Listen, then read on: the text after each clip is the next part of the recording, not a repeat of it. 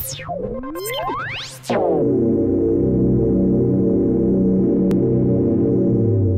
everybody, it's Chris Bryant again with another tutorial. Um, today what I want to cover is just how to enable the right-clicking functionality of your Apple Mighty Mouse. Uh, the Mighty Mouse doesn't look like it's got two buttons, but it actually does. Um, in fact, it's got the same functionality as any other mouse with two buttons.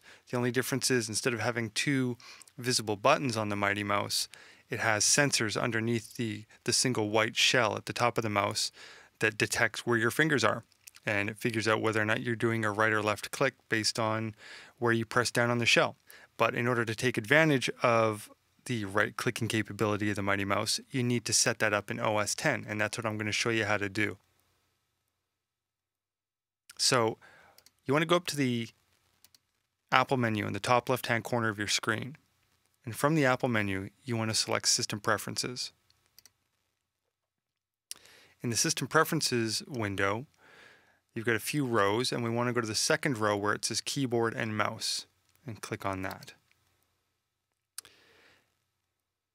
You'll notice at the top of the keyboard and mouse window that there's several options. Mine says keyboard and trackpad and mouse and Bluetooth and keyboard shortcuts.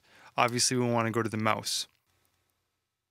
Once we're here, you see that we've got two pull down menus or drop down menus one for the left, one for the right of the mouse. By default, both of these are set to primary button, which means that regardless of where you click, left or right on the mouse, you always get the same thing.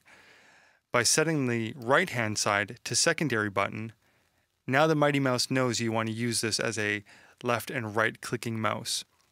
There we go, and that's all we need to do to set it. We don't need to hit save or anything, we just close that window. Now when we're in Pro Tools, we can actually access a lot of the right click features, or all of the right click features. For example, right clicking on a track label gives you a pull down menu. Um, selecting a region and right clicking on that gives you another menu. Um, if we go over to the regions menu here, if I click on an audio region in the regions list, I get this menu. That's kind of just scratching the surface. There's actually quite a quite a few cool features in Pro Tools that use right clicking, but for now I just wanted to cover how to enable the Mighty Mouse so you could start playing with all those features. So hope that helps you, and we'll see you again at the next tutorial. Thanks.